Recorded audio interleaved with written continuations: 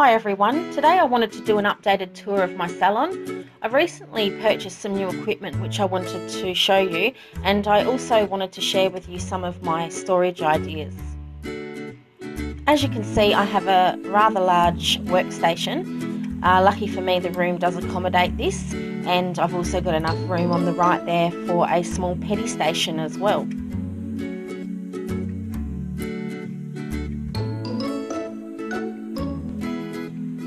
These are my CCFL slash LED lamps.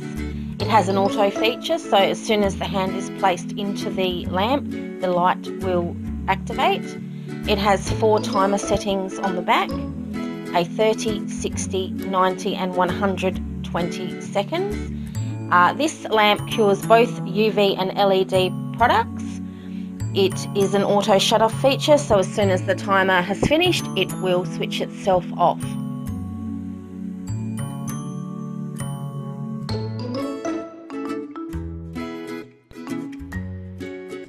My digital photo frame. I use this to showcase photos of nails that I have done and it is running the whole time my clients are having their service done. I find it's a great way of clients saying, oh, I like this or I like that, and it might give them examples of things that they would like done to their nails. These are my stamping plates. I keep these in albums. The first album we're looking at consists of all of my round plates and then these two smaller ones have my rectangular plates in them. I predominantly use Bundle Monster and Born Pretty plates and I do also some have some of the uh, MoYou UK plates as well. These are great to display the plates in. As you can see, the plastic envelopes are transparent, so it's quite easy for the clients to choose what design they would like.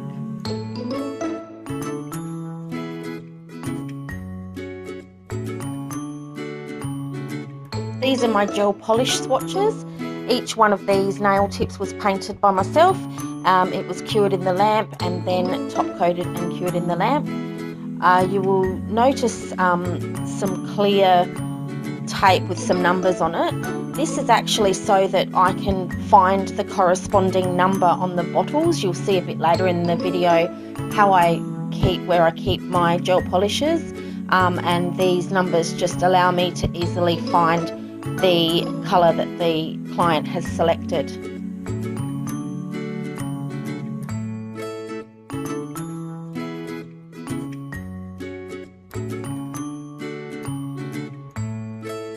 These are my glitter swatches. I literally have, I don't know, three to 400 different glitters. You can see a white label of each of the wheels this helps me determine uh, which drawer my glitter is in and then each glitter is labelled um, on the swatch wheel as well as in the little pots that they're in. You'll see this later in the video and yeah this just makes it easier for me to find the glitter that my client has chosen.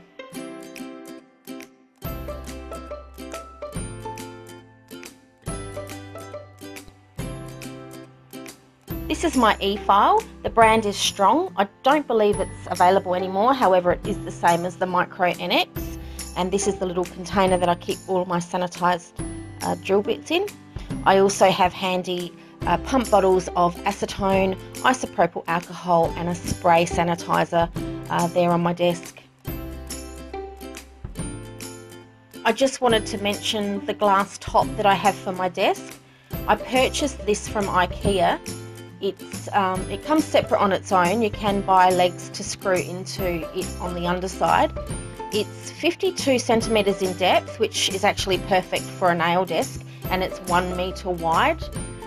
It's completely opaque, so you can't see anything that's underneath. There is a little bit of a gap, as you'll see in a minute, between the glass and the laminate underneath. I actually prefer to use a glass top table as I find the laminate scratches and marks quite easily. So this is easy to clean and keep it looking nice. You can see the gap here. Um, on the right hand side you might be able to see a silver disc. That's where the legs screw in if you want to purchase this separately for something. Um, I'm not sure how much the legs are but I'm sure you'll be able to find that on the IKEA website. Here I'm just showing you my camera, video camera setup. the video camera screws into that little angle bracket there and as you can see it's directly above the work that I'm doing so it gives a very close-up view of the, the detail um, and I can look into the viewfinder on the video camera to see if I'm in shot and also easily reach the camera so that I can zoom in and out as required and here I'm just showing you what it looks like when the camera is actually attached to it.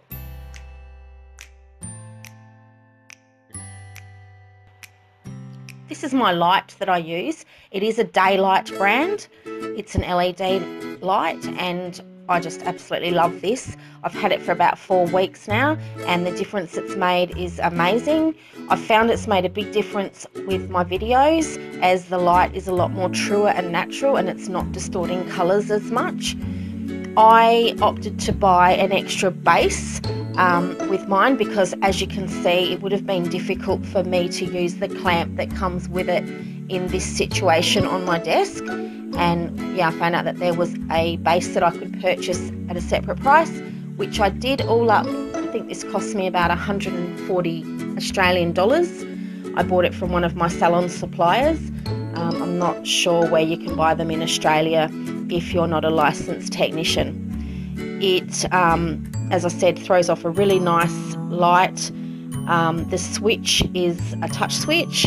It's very easy to operate. You hardly need to use any pressure on it whatsoever.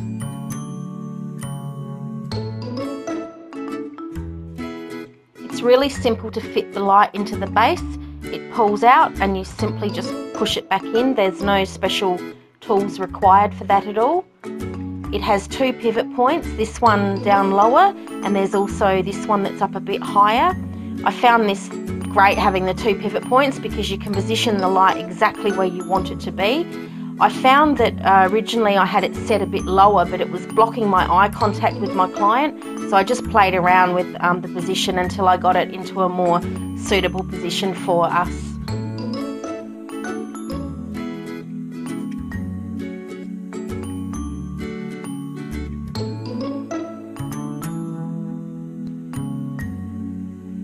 On the right side of my desk, I like to keep items and products that I use frequently. Items such as my acrylic brushes, primer brushes, brushes I use for correction, my primers, my prep products, cotton wool, my sanitizer, things like that.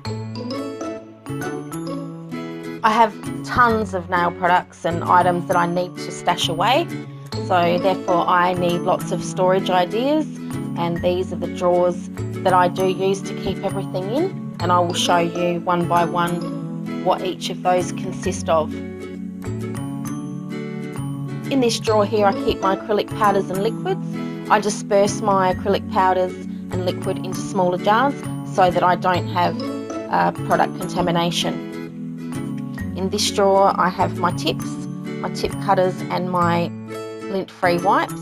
This is them here. There will be a link to this in my description box. These are great for removing the tacky layer from gel polish. There's absolutely no lint.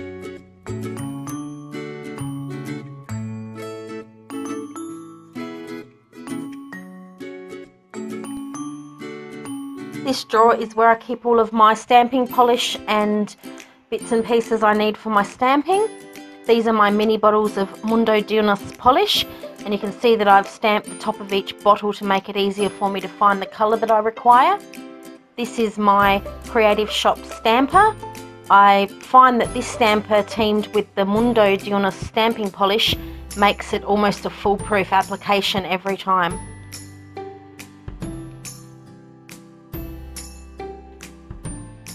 These are all of my nail foils that I have um, displayed quite nicely, all neat and tidy. In this drawer I have all of my rhinestones.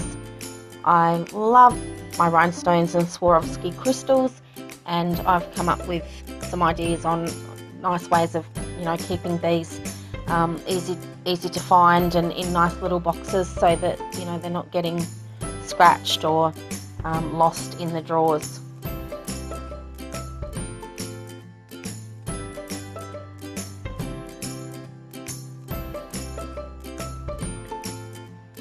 I'm a little bit OCD with storage. I like to have things very neat and tidy and compact and if I can find containers that make that job easily for me, I will pay money to buy them just, just so it looks nice and it's um, easy to find because when, when you have clients you don't want to be fussing around too much trying to locate the things that you need for your nail art. This drawer has all of my pigment powders in it I have lots of different powders as you can see and in the corner there are all of my shimmer uh, glittery mixes, my mermaid effect and things like that are in there as well. This is a drawer of coloured acrylic powders which I use every now and then and in this drawer is all of my extra glitters that I haven't um, fit into my pots um, so they're there when I do run out I can just top up my pots. Here I'm showing you these drawers. They're just so light and easy and it's great to be able to just pull them out and put them on the desk so the clients can choose what they would like.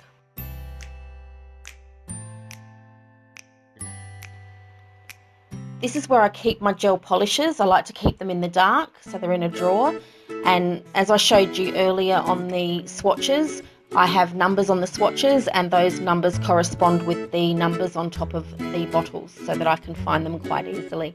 In the bottom drawer I keep my salon towels. In this top drawer is all of the implements and products that I use on a regular basis. It's uh, quite easy to get on the, the top drawer there on the right hand side and I have all of my, um, my glues, my implements, my buffers, my brushes and yeah things like my gel top coat and base coat and yeah, finishing products and things like that. So they're easy to grab out of that drawer as well.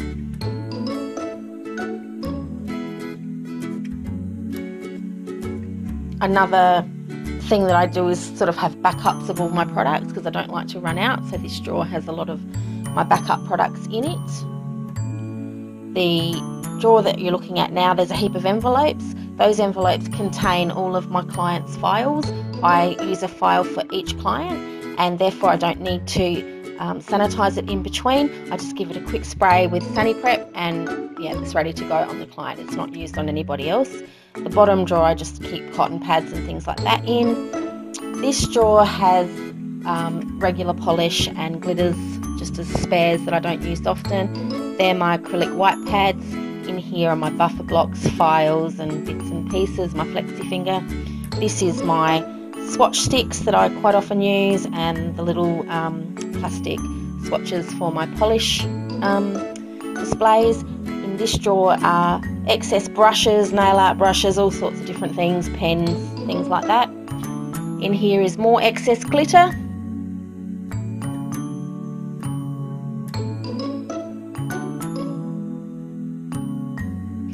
and also in here there are some extra wipes and pads and things. This drawer is a drawer of acrylic powders um, that I've used in the past, NSI and different brands that I've still got little bits and pieces of just in case I, I want to use them for something. In this drawer I have my little pink heater. I've got this just in case I decide to do IBX services. This is my, um, it's a coffee mug warmer You plug it into a USB port. I bought that for my mono monomer so that if my if it's cold I can warm my monomer up. In this drawer I have a lot of containers, um, all sorts of containers like I said, I'm OCD about that. These are the containers I use for my glitter and there's plenty of other stuff in there as well. This is another drawer with just spare tips and wipes and containers as well. And this drawer is more storage of buffer blocks, etc. This is how I store my glitter. It's in these little pull-out drawers which I got from Officeworks for around 16, 17 Australian dollars. And in those I place all the pots which are labelled. Each drawer is labelled and that label corresponds with the white label which were on my glitter swatches earlier in the video and it makes it so much easier for me to locate those glitters when a client requests them. I've found this to be a really, really good way of storing my glitter and it works for me.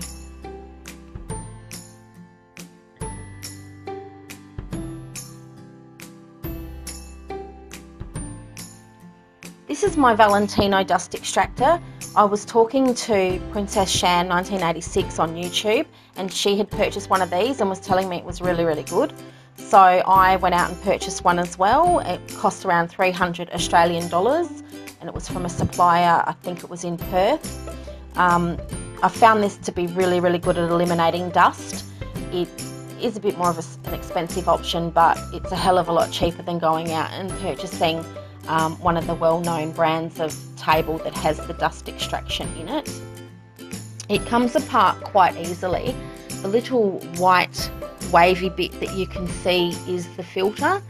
This needs to be cleaned after each service. So you just literally slide off the top grate and then the rest of it comes apart quite easily and you just simply upturn the filter onto a bin and tap it a few times to remove all those loose particles and dust that's been um, trapped inside it.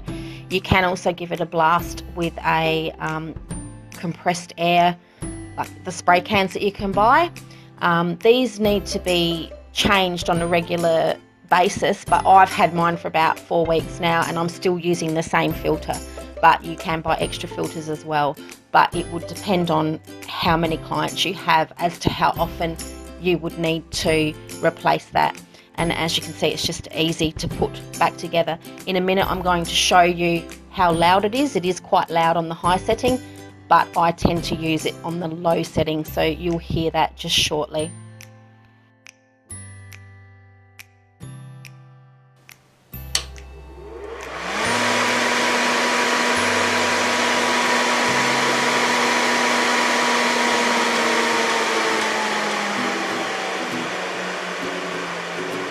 As you can hear, it is quite loud, but I tend to keep it on this low setting so I can still hold a conversation with my client.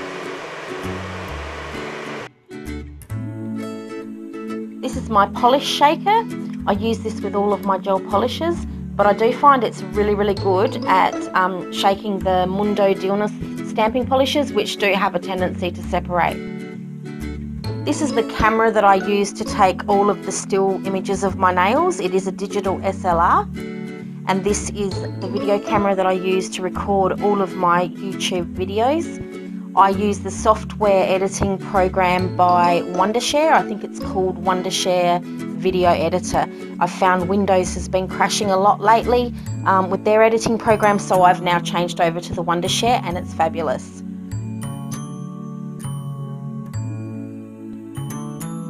In this top cupboard I keep all of my chemicals, my isopropyl alcohol, acetone, um, all sorts of things like that, and my monomer. And yeah, I've just got a bit of extra storage up there for things that I, I don't use a lot of, but um, yeah, they've been packed away nice and neatly in those containers. Well, that's a wrap for my salon tour. I do apologise that this video has gone on for so long. However, there was quite a bit that I wanted to cover because I really wanted to share the equipment and the storage solutions with you guys. If you've got any questions, I will be putting links to products and storage ideas in the description box. But if there's anything in there I haven't covered, please just ask me the question and I will endeavour to get back to you as soon as I can. I hope you've enjoyed the video and I will be bringing more videos of my work to you very, very soon. Thanks for watching. Bye.